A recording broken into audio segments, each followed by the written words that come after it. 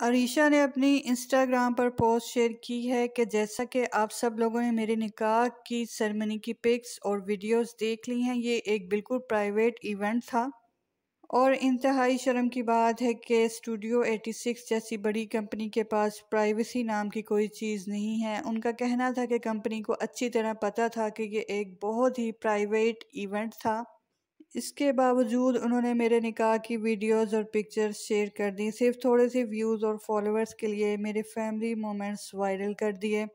उनका मज़ीद कहना था कि कोई भी इस कंपनी को अपने इवेंट की कवरेज के लिए बुक ना करे, क्योंकि ये लोग आप लोगों की भी प्राइवेसी का ख्याल नहीं करेंगे और मोमेंट्स को लीक कर देंगे।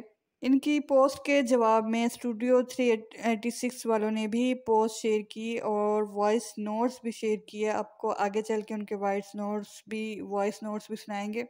स्टूडियो एटी सिक्स वालों ने जो पोस्ट शेयर की, उसका लबे लबाब ये था कि जिस दिन अरीशा की फैमिली ने और अरीशा ने उन्हें हायर किया था अपनी इवेंट की कवरेज के लिए उस दिन ये एग्रीमेंट हुआ था कि इवेंट के तीन महीने बाद ये जो है पेज अपनी अरीशा की पिक्स और वीडियोस शेयर कर देगा।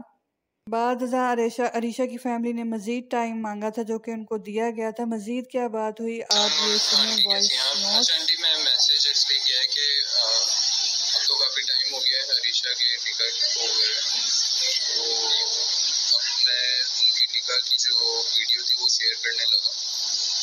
इन्फॉर्म करना इसलिए ज़रूरी था कि ऐसा नहीं कोई और प्रॉब्लम हो जाए, क्योंकि शेयर करने के बाद मैं डिलीट नहीं कर सकूँगा। तो आई एम रियली सॉरी मैंने अरीशा को मैसेज किया तो उन्होंने कोई रिप्लाई नहीं किया तो आई एम एक्सपेक्टिंग कि कोई इशू नहीं है। ठीक है। पहले भी किया, अभी भी कर रहा हूँ।